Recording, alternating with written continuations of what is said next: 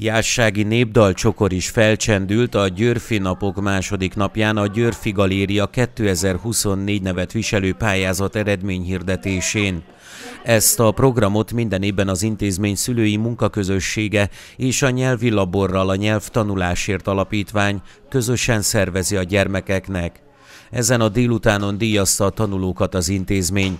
Több kiállítás is nyílt az alkotásaikból az aulában, valamint az egyik tanteremben az ügyes kezek szakkör remek műveit is megcsodálhatták az érdeklődők. Évről évre egyre több pályamunka érkezik, ilyenkor rajzokat, maketteket, tárgyakat készíthetnek a gyerekek, amelyeket a zsűri értékel, majd pedig itt kiállítunk az iskolának az aulájában, illetve aztán bekerül a Györfi Galériának a gyűjteményébe. Büszkélkedhetek vele, hogy több száz darabos ilyen gyűjteményünk van már.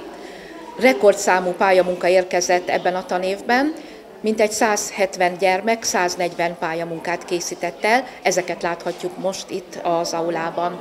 Ezt a programunkat évek óta összekötjük az ügyes kezek kiállítással. Ez a lánytechnika teremben látható, a technikaórákon, illetve az ügyeskező lányok a tehetséggondozó szakkörön, illetve otthon, amit készítenek, azok kerülnek itt kiállításra, és meg lehet őket tekinteni a többieknek is, hát ha kedvet kapnak, és nem az okos eszközeikkel játszanak, hanem ezekre összpontosítanak majd.